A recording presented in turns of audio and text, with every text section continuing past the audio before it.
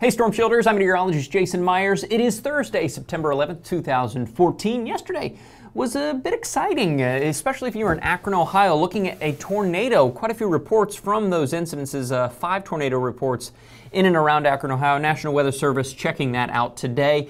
Eight wind reports and all. Overall, this was a pretty quiet day considering it was expected to be a lot worse, but things just kind of fizzled as we head into the afternoon. One other note, we saw a lot of rain in northern Missouri, southern Iowa. It looked like uh, we could have seen some flash flooding there. And there's another potential for flash flooding in southwest Texas and then another area from eastern Oklahoma up through it looks like West Virginia, but definitely in western Kentucky and western Tennessee. I think that's the best chance to see some of that uh, potential for flash flooding because this front is going to continue moving to the east it fizzles out as we head into the evening hours, so it doesn't look like there's going to be a whole lot going on.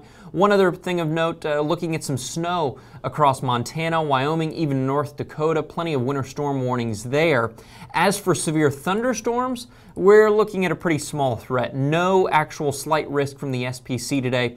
Wind in Colorado, in New Mexico, and then from eastern Tennessee all the way up through New Jersey, and it looks like potential for hail is in Colorado and in New Mexico. So, all in all, it looks like it's going to be a quiet day, a much needed quiet day, especially after yesterday with that uh, not really severe weather, but nasty weather stretching across much of the Midwest. Be safe today. Please like the video, subscribe to the channel. I will see you next time.